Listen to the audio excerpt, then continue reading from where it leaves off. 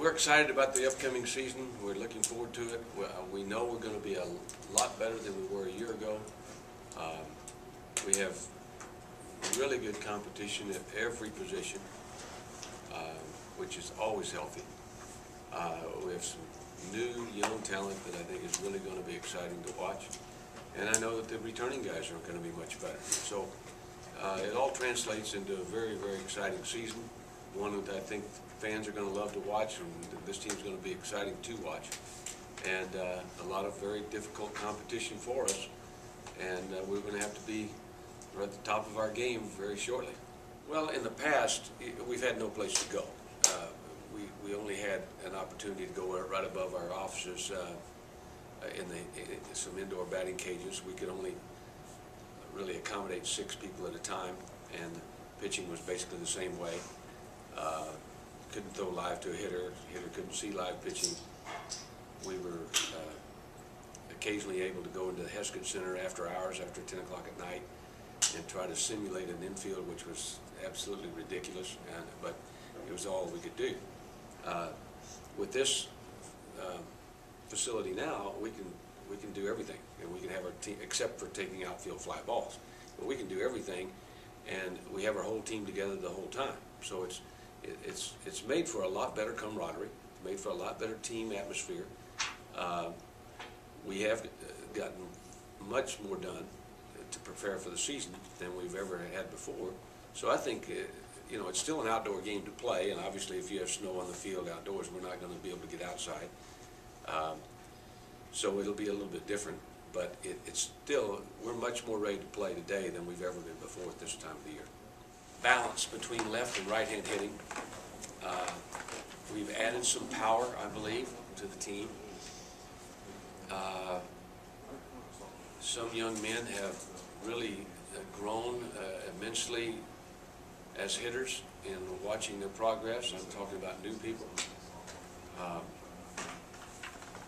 And uh, I just, having watched teams here for years and years, and at Oklahoma, hundred years ago, or when, I- where I was when I was there, uh, I've seen a lot of talent over those times, and, and uh, this team has ability, this team has talent, and it's, it's young and it's inexperienced, but uh, that's what's so exciting about this. There are guys in this team that could blossom uh, in a hurry. They just have that look about them. They don't realize it yet, believe me, but they could blossom. And if they do, uh, this could be a really fun year for all of us. We're working a lot harder than we have in the past, I think, and a lot of that has to do with the indoor. Um, before, we would be driving all over town just to try to find a place to practice right now with the snow on the ground, but now we get to be all together and uh, we get to work hard, and it just everybody feeds off each other's energy, and it all starts with Gene, of course, coming uh, every day to practice with a lot of energy, and we just feed off of him. We should we should be the best. We should be the best pitching staff in, in America, um, either stat wise or or just overall. Um, I think every every game we go out, we're definitely gonna our pitching staff definitely gonna give us a chance to win.